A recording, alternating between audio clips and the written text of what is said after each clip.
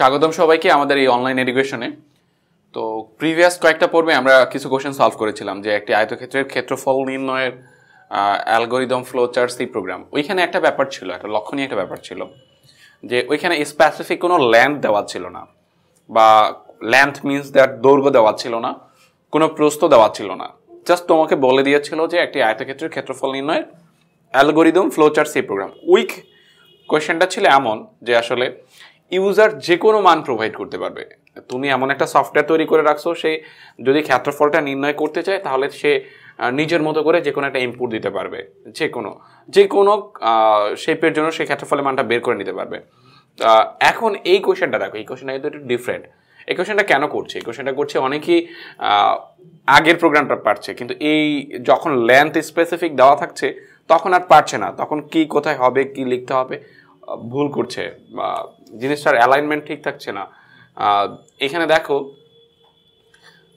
Specific ভাবে বলা আছে যে দৈর্ঘ্য দুই মিটার, প্রস্থ ছয় মিটার। বিশিষ্ট একটি আয়তক্ষেত্রের ক্ষেত্রফল নির্ণয়ের ফ্লোচার্ট এবং সি প্রোগ্রাম আমাদের এই সেশনটাতে আমরা ফ্লোচার্টটা করার ট্রাই করব, যে ফ্লোচার্ট খুবই গুরুত্বপূর্ণ একটা জিনিস। তো এখন কীভাবে করব? গত গত ক্লাসে তো ফ্লোচার্ট করেছিলাম, তাহলে কি হুবহু এরকম ফ্লোচার্ট হবে? যারা কোশ্চেনটা ধরতে পারছ, তারা অলরেডি করে ফেলো। আর যারা একেবারেই বুঝতে পারছ না, তারা আমার সাথে কন্টিনিউ করো। যে, কি হবে তাহলে? যে, এখানে দেখো ফ্লোটা ফ্লোচার্টের জন্য আমরা কিছু শেপ শিখে আসছিলাম, যে ফ্লোচার্ট করতে হয়। ধরো, আমরা এখন ফ্লোচার্টটা দেখাচ্ছি, যে প্রথমত আমাদের স্টার্ট শেপ হবে। যে কোনো ফ্লোচার্ট নিয়ে কাজ করি না কেন, প্রথম শেপটা হবে স্টার্ট শেপ শুরু করি। By start S T A R T start, তাই না? তারপর একটা স্টেপ থেকে আরেকটা স্টেপে যাওয়ার জন্য আমাদের অ্যারো চিহ্ন ব্যবহার করতে হবে। এই যে অ্যারো চিহ্ন। এটা প্রোগ্রামের ফ্লো নির্দেশ করে প্রোগ্রামের ডিরেকশন নির্দেশ করে। তারপর দেখো, এখানে কি করতে হবে? যারা প্রিভিয়াস পর্বটা দেখেছ যেখানে ফ্লোচার্ট দেখানো হয়েছে সেখানে কিন্তু দেখো, আমরা এরকম করেছিলাম। আমি একটু প্যারালালি দেখানোর চেষ্টা করি অনেককে। যে এখানে স্টার্ট করেছিলাম, এখানে স্টার্ট করেছিলাম, যে S T A R T start তারপরে আমরা কি করেছিলাম? ইউজার থেকে একটা নাম্বার আক্স করেছিলাম মানে লেন্থ অ্যান্ড উইথ আচ্ছা এই, এটার মিনিং কী ছিল? ইউজার থেকে এটা খুব ভালো করে বুঝো। আমরা এখানে লিখেছিলাম input length L N G T H and width এর মানে হচ্ছে ইউজারকে আমি বলছি, তুমি তোমার লেন্থ অ্যান্ড উইথের মানটা প্রোভাইড করো। তুমি ইনসার্ট করো ইনপুট করো। এই শেপ কি করে? এই শেপ এই শেপ দুইটা পারপাসে ব্যবহার হয়, যখন ইনপুট গ্রহণ এবং নির্গমন এবং ফলাফল প্রদর্শন। তো এখানে আমরা বলে দিচ্ছি, তুমি ইনপুট প্রোভাইড করো। আচ্ছা এখানে একটা ব্যাপার খেয়াল করে দেখো, এই শেপটা কি এখন এখানে হওয়া যৌক্তিক বা হবে কি না তুমি কি মনে করো? আই থিঙ্ক যে মনে করছ যে এটা হওয়া যৌক্তিক না, কেন?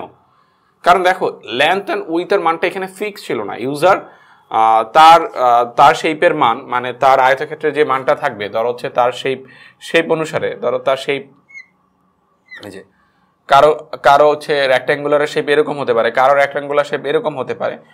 তার মানে এক একজনের রেক্ট্যাঙ্গুলার শেপ এক এক রকম হতে পারে, তার মানে হচ্ছে লেন্থ অ্যান্ড উইথের মানটা কি হতে পারে? চেঞ্জ হতে পারে। যার শেপের মান বা শেপের যার শেপের লেন্থের মান যত হবে, সে এখানে তত প্রোভাইড করবে। জাস্ট ইনপুট দিবে, তারপর আমি তাকে ক্যালকুলেশন করে ক্ষেত্রফলটা দেখাই দিব যে কত হবে রেজাল্টটা কিন্তু এখানে কি হবে? এখানে দেখো, এখানে ফিক্সড এখানে ফিক্সড কেন? কারণ তোমাকে বলছে যে ক্ষেত্রফলটা বের করতে হবে, যে আয়তক্ষেত্রের ক্ষেত্রফলটা বের করতে হবে, ওই আয়তক্ষেত্রের লেন্থ দেওয়া আছে, দৈর্ঘ্যটা দেওয়া আছে, প্রস্থটা দেওয়া আছে। এখানে কি কোনো রেজাল্টের ভ্যারিয়েশন আসবে? অলওয়েজ রান করলে একটা মাত্র রেজাল্ট দেখাবে। তাই না? কারণ যেহেতু মানগুলো ফিক্সড কারণ তুমি ক্ষেত্রফল ক্ষেত্রফল বের করব হচ্ছে ছয় আর হচ্ছে দুই, এই মানগুলো ব্যবহার করে। তার মানে এখন কি ইউজারের কাছ থেকে আর ইনপুট নেওয়ার দরকার আছে? যে ইউজার ইনপুট দেওয়া ইনপুটগুলো কি হবে সেটা ডিফাইন করা আছে কোশ্চেনে তো এখন আর এই ইনপুট শেপটা এই জায়গায় হবে না, যেটা প্রিভিয়াস পর্বে হয়েছে। কারণ প্রিভিয়াস পর্বে মানটা ফিক্স ছিল না। মানটা মানটা হচ্ছে যে যে কোনো রকম হতে পারবে।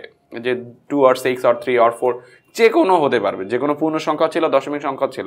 কিন্তু এই প্রোগ্রামটা আজকে ডিফাইন করা আছে যে শুধুমাত্র দুইটা মান হবে, সেটা হচ্ছে দৈর্ঘ্যটা হবে দুই মিটার প্রস্থটা হবে ছয় মিটার। তার মানে এখানে আমরা এই ইনপুট শেপটা ব্যবহার করব না। ডিরেক্ট একটা প্রক্রিয়াকরণ শেপ হবে যে কোনো কিছু যদি প্রিডিফাইন করা থাকে কোনো ভ্যালু এগুলো হচ্ছে প্রক্রিয়াকরণ। এই প্রক্রিয়াকরণ শেপের মধ্যে হবে। তো তুমি প্রক্রিয়াকরণ শেপের মধ্যে ডিক্লেয়ার করে লিখতে পারো L E N G T H length equal length কত আছে? দুই মিটার আছে। তারপর উইথ কত আছে? ছ মিটার আছে, তাই না? তো এটা দেখো জাস্ট এইটার স্টার্ট করলাম, তারপর হচ্ছে আমি যে ক্ষেত্রফলটা বের করব, সেই ক্ষেত্রফলের লেন্থ অ্যান্ড উইথের মানটা ডিফাইন করা আছে। যে দুই মিটার আর হচ্ছে কত? ছ মিটার তারপর কি করবা? তারপর যে কাজটা তুমি করতে পারো, যে এরপর এই এদেরকে ব্যবহার করে, তুমি চাইলে আরেকটা শেপ ব্যবহার করতে পারো এখানে কাজটা কমপ্লিট করতে পারো। আমি আরেকটা শেপ ব্যবহার করছি। আরেকটা প্রক্রিয়াকরণ। প্রক্রিয়াকরণ কি? যে এরিয়া এখন কিন্তু ইনিশিয়ালাইজ করা আছে। লেন্থ টু উইথ টু এখন যদি তুমি ক্ষেত্রফল বের করতে চাও, ক্ষেত্রফল ক্যালকুলেশন করাও কি? কোন এক প্রক্রিয়াকরণ, কোন এক টাইপের প্রক্রিয়াকরণ। প্রক্রিয়াকরণ মানে হচ্ছে ইনিশিয়ালাইজেশন তুমি যদি কোনো কিছু ইনিশিয়ালাইজ করো এটা একটা প্রক্রিয়াকরণ। যদি তুমি কোনো কিছু বিয়োগ করো, যোগ করো কোনো কিছু অ্যাড করো চাই করো না কেন, সেগুলো এক ধরনের প্রক্রিয়াকরণ। প্রক্রিয়া আমরা জানি এই শেপটা হচ্ছে প্রক্রিয়াকরণ নির্দেশ করে। যে যে যদি যে কোনো ভ্যালু প্রসেস করতে হয়, তখন আমাদের এই জিনিসটা ব্যবহার করতে হয়, এই শেপটা ব্যবহার করতে হয়। তো এখানে আমরা লিখতে পারি it is equal to length L G T H length and width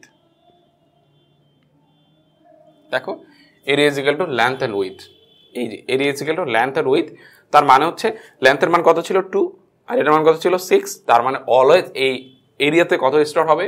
twelve তাই না? তার মানে এই, দেখো, এই প্রোগ্রামটা তুমি যতবারই রান করো না কেন রেজাল্টটা কিন্তু চেঞ্জ হবে না। কিন্তু প্রিভিয়াস যে প্রোগ্রামটা করেছ প্রিভিয়াস প্রোগ্রামটা কিন্তু ডিপেন্ড করবে, তার রেজাল্টটা কত দেখাবে ডিপেন্ড করবে ইউজার কত ইনপুট প্রোভাইড করছে।